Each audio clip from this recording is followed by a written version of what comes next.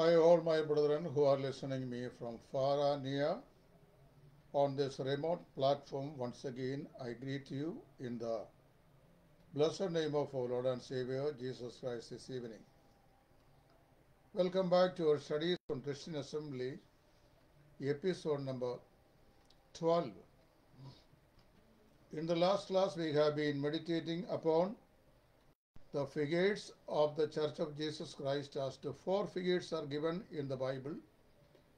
They are respectively the habitation of God, the temple of God, the house of God, and finally we have learned the body of Jesus Christ. The habitation of God, the temple of God, the house of God, and the body of Jesus Christ.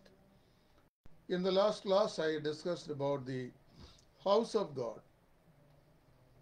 depicting from 1 Timothy all the six chapters of the epistle of Timothy, picturing into each of the rooms of life, typically the welcoming room, as well as the prayer room, the chapter 3, the elders and ministers room, and then preaching room, storeroom, and finally the room for the rich, where we stopped in the previous class. And today let us, let us go into uh, the last figure in this connection, which is the body of Christ. Ephesians chapter 4, verse 11 to 16, and also verse number 1, verse 23, and Colossians 2 18. First of all, I would like to read Ephesians chapter 4, verses 11 to 16 in this connection.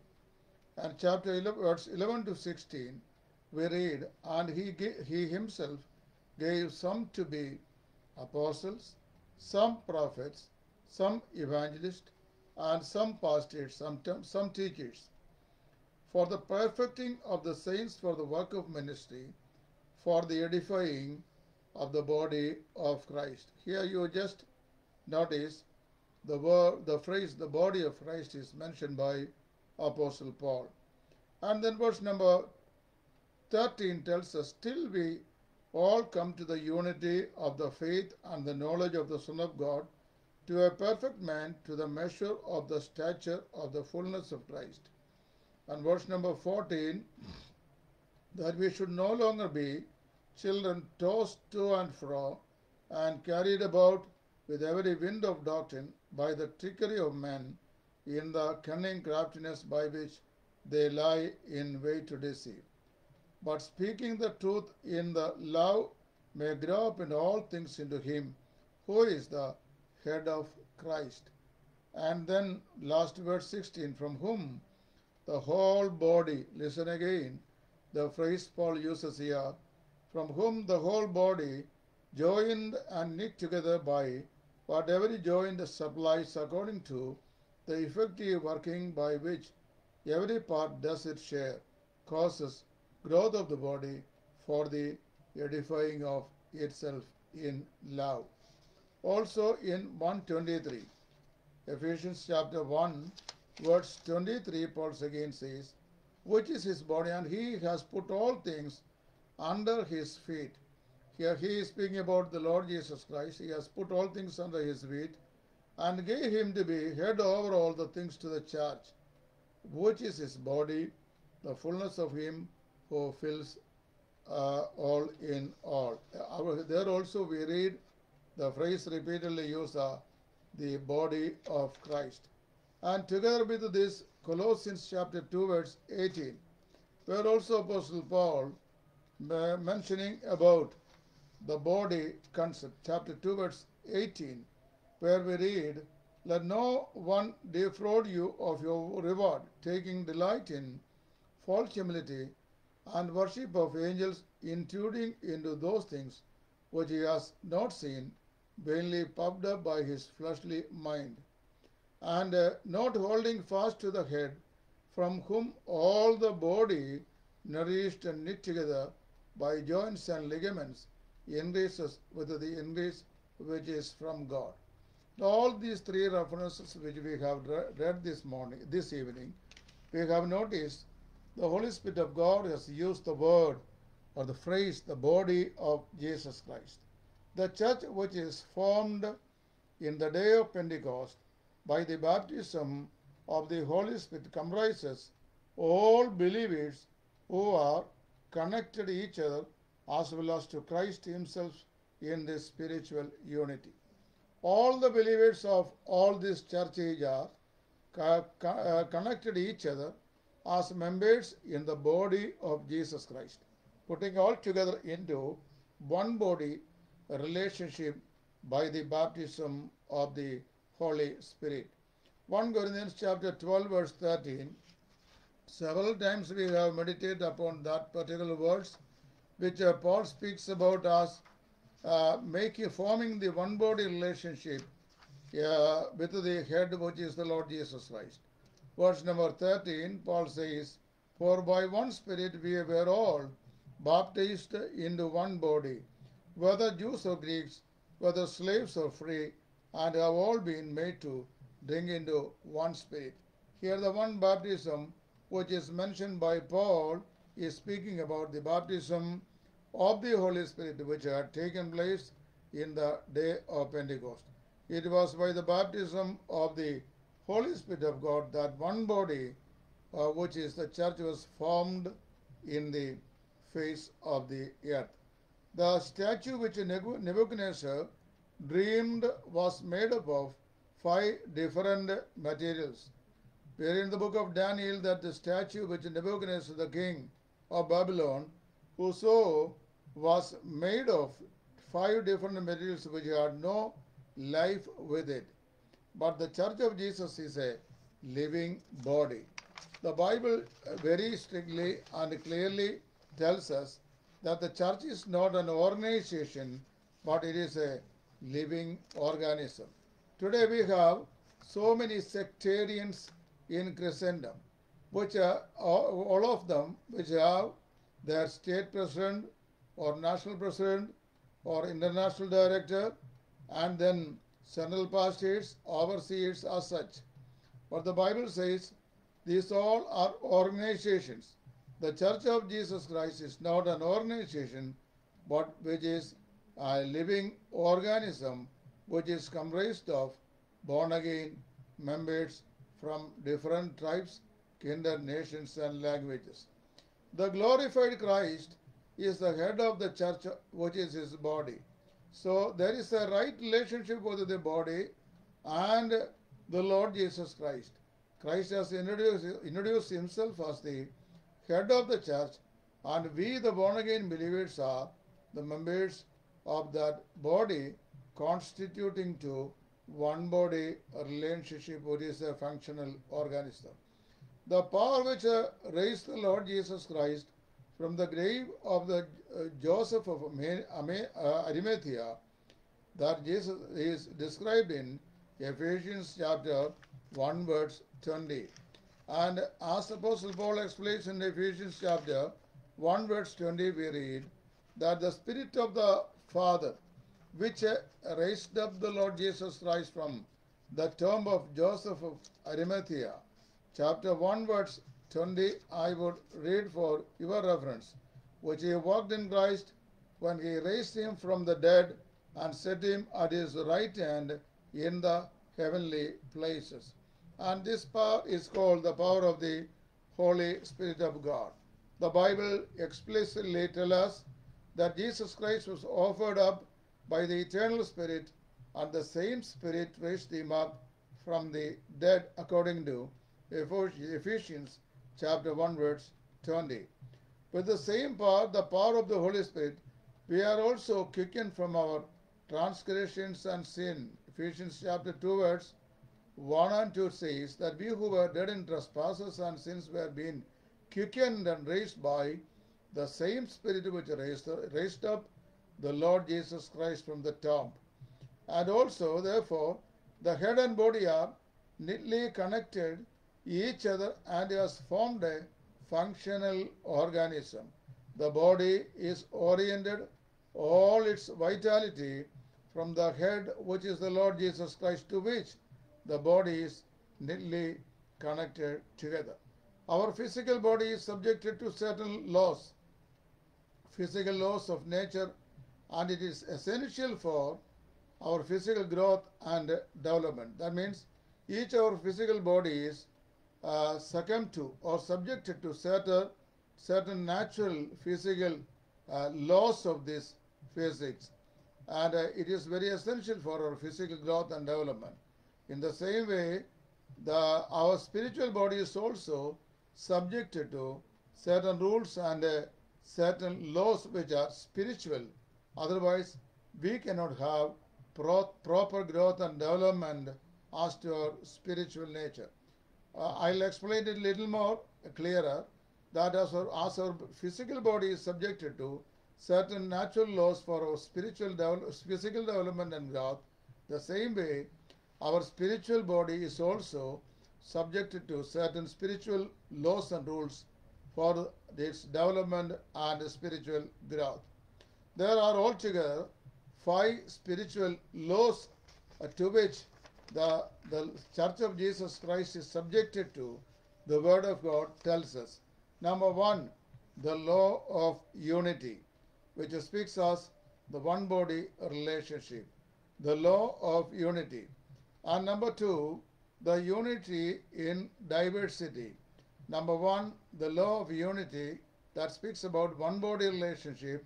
And number two, the unity in diversity. Number three, the law of consideration. Number four, the law of activity. And finally, the law of authority. I will uh, repeat uh, once again that those who are listening me, please listen to this. There are uh, four, five laws of the spiritual body for development and spiritual growth. Number one, the law of unity, which essentially speaks about the one body relationship. And number two is the unity of the body in diversity. So the law of unity, then the law of diversity, the law of consideration, the law of activity, and then the law of authority. Let me explain first of all what is the law of unity. In Ephesians chapter 4, verse 12 and 13, we see two sides of the law of unity. They are the law of the unity of faith and the law of the unity of spirit. There are two essential laws which uh, uh, helps the believers to have the law of unity in the body, body of Jesus Christ. One is the, the unity of faith, which is faith in the various doctrine of the Church of Jesus Christ. And the latter is the law of the unity of the Spirit. Both are essential for the development and spiritual growth of the body. There are seven aspects which speaks about the unity in the Bible. And uh, I will be explaining all the sevens right now and will close today's class thereafter. So there are seven uh, spiritual aspects which speaks about the unity of the church in the New Testament. Number one, one flock. John's Gospel chapter 10 verse 11. Let me read John's Gospel chapter 10. Where chapter 10 is actually the shepherd chapter wherein our Lord Jesus Christ introduces himself as the good shepherd. He is the door of the sheep. He is the good shepherd who leads the sheep into his pastures and uh, maketh them to lay down by the still waters and a feeding on a green pastures. And he said, I am the good shepherd and I give my life for my sheep. And my sheep, they hear my voice and they follow me. I call them by their name, Jesus said. And all the sheep, putting them together into one, uh, into one unity, he speaks there as the flock of God. John's Gospel, chapter 10, verse 11 onwards. And I am the good shepherd. The good shepherd gives his life for the sheep. And also in verse number 14, He said, I am the good shepherd, and I know my sheep, and I am known by uh, them, known by my own. See, in verse number 10, he said, I have come that you may have life, life more abundantly. So, in the in this verse, John's Gospel, chapter 10, Apostle, Apostle John says that we are one flock with the Lord Jesus Christ. As one flock that He gathers us together.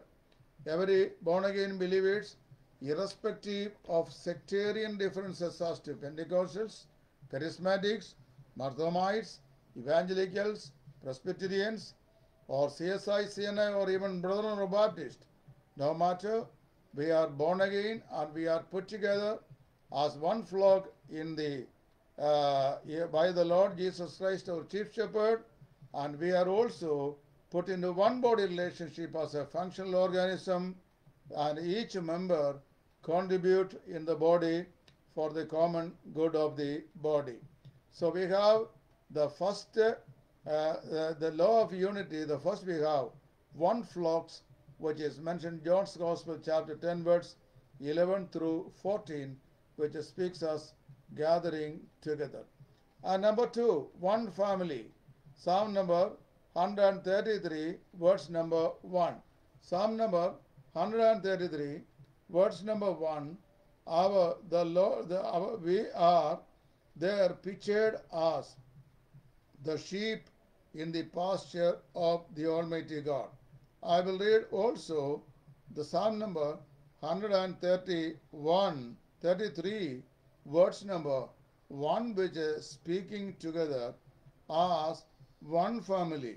Okay, let me read that where we read Psalm number 133. 133, it says, Behold, uh, a song of degrees of David, behold, how good and how pleasant it is for brethren to dwell together in unity. How good and how pleasant it is the brethren to dwell together in unity. As one flock we are gathered together and then as one family that we are living together in the house of God. In the last class, I, I, I, I explained to you what is the nature of the house of God. Holiness is the basic nature of the house of God, our unity is its divine manifestation. So, as one flock, we are gathering together, and as one family, we are living together. In a family or in a house, as I told you in the previous class, there is father, mother, and children. The mother and children are in total sublime submission to the father for his authority because he is the head of the house. In the same manner, the Bible says, we as born again Christian believers, we are subjected to the divine authority and headship of our Lord Jesus Christ. We as a spiritual family live, live together under the headship of our divine Father, who is our Lord Jesus Christ. And then we have Ephesians chapter 2, verse 21, the third aspect one temple, which I have already explained in the last class. Again, I would read uh, today in these connections. Ephesians chapter 2, verse 21, Apostle Paul says, In whom the whole building being joined together grows into a holy temple in the Lord. The Bible says we, the law of the unity is well explained as to the as to one flock, which as a flock that we gather together, as one family that we are living together, and one temple, Ephesians 2.21, that is building together. Each born again believer is a living stone, and the Holy Spirit of God places him and her on the process of the building of the temple of our Lord Jesus Christ. So, as one temple, we are being built together. Then number 4, 1 Corinthians chapter 12 verse 13. That is one body, which I already told you. One body was formed by the baptism of the Holy Spirit of God, which took place on the day of Pentecost, as the Holy Spirit of God descended upon the disciples who were waiting and watching for the advent of the Spirit asked for the promise of Jesus Christ prior to his ascension. So one body, 1 Corinthians 12 13. The, as one body, we are organized together. Each of the members, what it may be, its respective place in the body, was determined, determined by the Holy Spirit of God. So you cannot go into the body of Christ and take a place and a position as you wish, but rather the one who has saved you, one who has begotten you, according to his holy will and desire, has placed you in the body of Jesus Christ in a respectful manner. So the place and the uh, the position that you and I have in the body of Jesus Christ has not been chosen by ourselves, but has been given by the divine will of the Holy Spirit of God. 1 Corinthians 12 13 explain it further. And a fifth aspect, one house, Ephesians 2 19. As one house, we are working together. Verse number 9 says, Now therefore, you are no longer strangers and foreigners, but fellow citizens with the same and uh, saints and of the household of God. That we who were Gentiles on one occasion, by the grace of God, we have been born again and have been brought into the house of God, wherein we are fellow heirs with the Lord Jesus Christ and sharing in the blessings of the house of our Lord Jesus. And the sixth aspect is one kingdom. Philippians chapter 3, verse 19 and 20. Philippians verse chapter 1 verse uh, uh, 1, 19, uh, 3 verse 19 and 20. And this verse is quite familiar to everybody, yet I would uh, like to read it. For our citizen, whose uh, verse number 20 it says, For our citizenship is in heaven, from which we also eagerly wait for the Savior, the Lord Jesus Christ.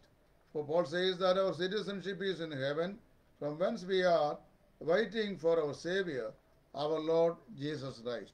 And then the next verse says, Who will transform our lovely body, that it may be conformed to his glorious body, according to the working by which he is able even to subdue all things to himself. And in the above verse he says, Our citizenship is not here, and it is in heaven. Our citizen, for our citizenship is in heaven, from which we also eagerly wait for the Savior, Lord Jesus Christ. So, this verse, Philippians chapter 3, verse 19 and 20, speaking about one kingdom. And finally, that is seventh one, one priesthood. First Peter chapter 2, verse 5. As uh, one priesthood, we are worshipping the Lord together. In all these seven aspects of references, what we have read, read through, it speaks about the unity in the body of our Lord Jesus Christ. Let me read 1 Peter chapter 2 verse 5 where we read, You also as living stones are being built up a spiritual house, a holy priesthood to offer up spiritual sacrifice acceptable to God through Jesus Christ our Lord. So this evening I have told you the law of unity as our physical body is subjected to certain physical natural laws which is which are essential for our growth and development in the same way our spiritual body is also subjected to certain uh, spiritual uh, rules or laws which are found in the holy bible those are very essential for our spiritual development and growth. So such we have five different laws mentioned in the Holy Bible, uh, especially in the New Testament. Number one is the law of unity, and second is law of diversity, and the third is law of consideration, fourth is law of activity, and the last one is law of authority. Out of the five, that the first one we have been studying today, the law of unity. according to Ephesians chapter 4, verse 12 and 13, that uh, there are two sides of law of unity. They are the law of the unity of faith and the law of the unity of spirit. One is doctrinal and the other one is practical. When putting, putting it together, that we are having that vital uh, power as a unity, law of unity, which enables a person to grow up in the grace and uh, having the develop his spiritual development and growth. In considering that, I told you there are seven aspects which speaks about the uh, the uh, unity of the church. One flock, as one flock, John 10 14, as one flock, that we are together, flocking together or gathered together. The shepherd gathers of the sheep together into the flock. So, as one flock, we are gathered together.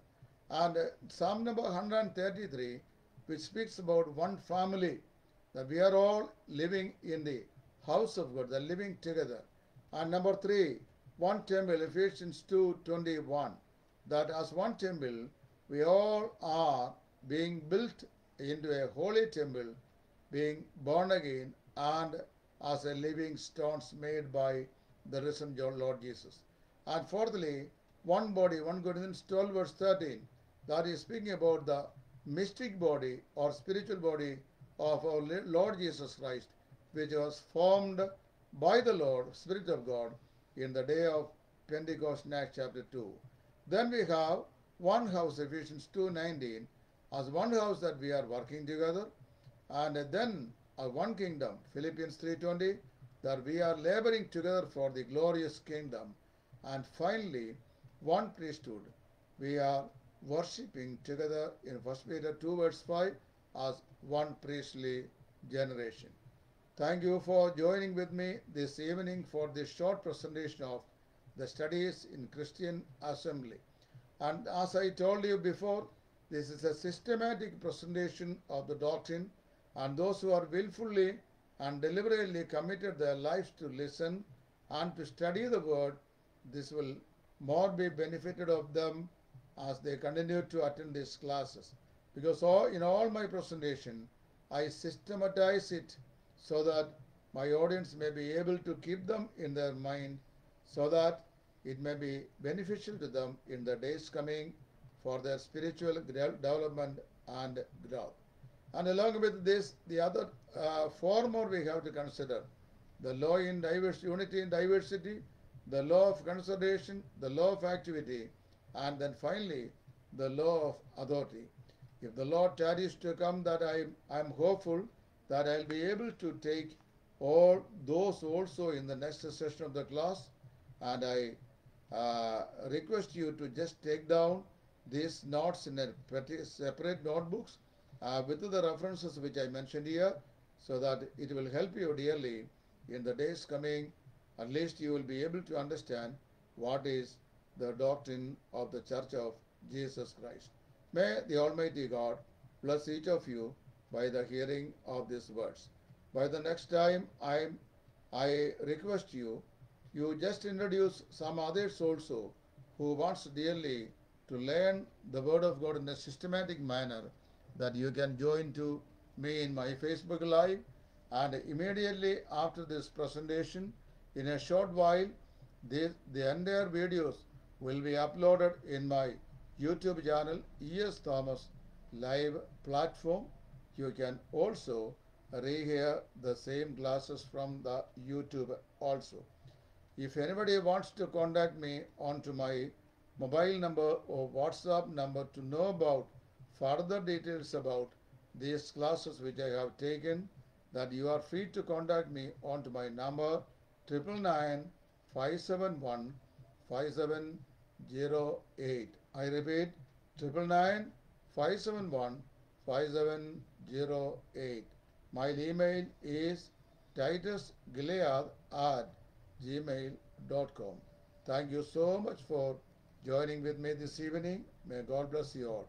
In his blessed service, evangelist Titus from Idayaranmula. Thank you. God bless you all.